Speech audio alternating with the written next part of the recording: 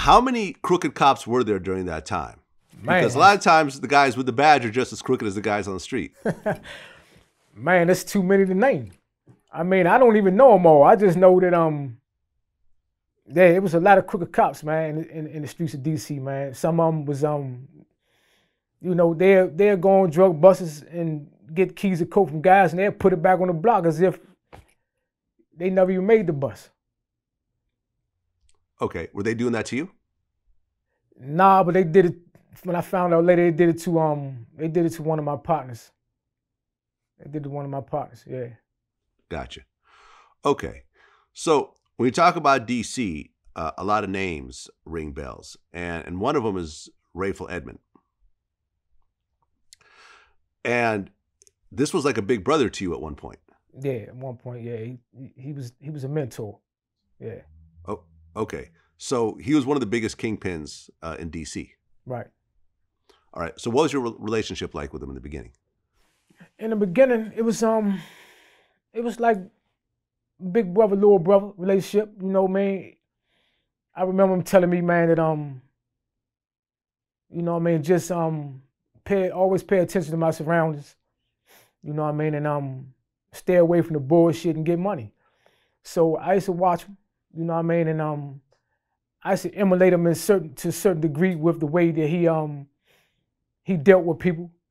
You know what I mean? He was always he was always generous. He wasn't never like the type of person that, you know, looked down on somebody because they had less. So those those particular traits in his character I try to implement in mine as well. And uh, you know, we had a we had a real good relationship in the beginning. Right. And he was one of the most like flashy and flamboyant guys out there. Yeah, one of them. Yeah, Okay. Uh, but then he gets arrested. right. And after he got convicted, he became an informant. Yeah. And uh, I mean, I looked up his story. You know, I guess they said that it was because of his mother getting convicted, but then his mother was also, already arrested uh, in some of the original indictments.